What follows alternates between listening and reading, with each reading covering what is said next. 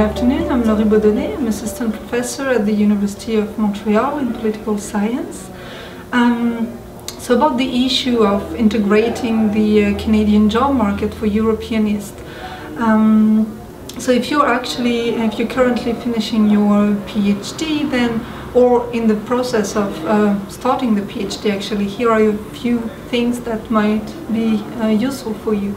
Um, first of all, about finding a job after the PhD, it's all, I think, about two, thing, two things for me. Um, mobility and networking on one hand and balance on the other. Um, about mobility and networking, why is it so important during your PhD if, if you can uh, afford to be mobile? Um, because the moment you're going to be on the job market, you're going to have to apply for research funding, you're going to have to start collaboration, and uh, you're going to get hired by a department with potentially uh, a network that's going to complement the, the, department's one.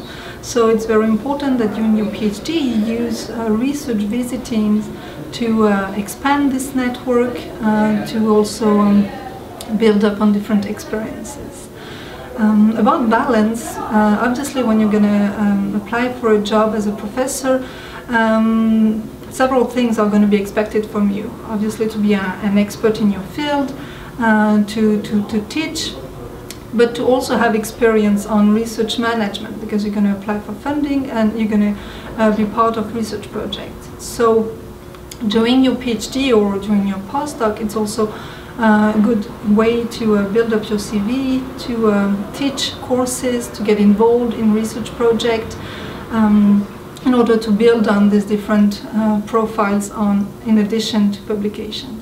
And finally, one very important thing is to uh, think about how you um, present yourself and your research. And something that uh, PhD students uh, very often do at the end of the PhD is that they think about themselves as highly specialized because the research uh, question in a thesis is very narrow.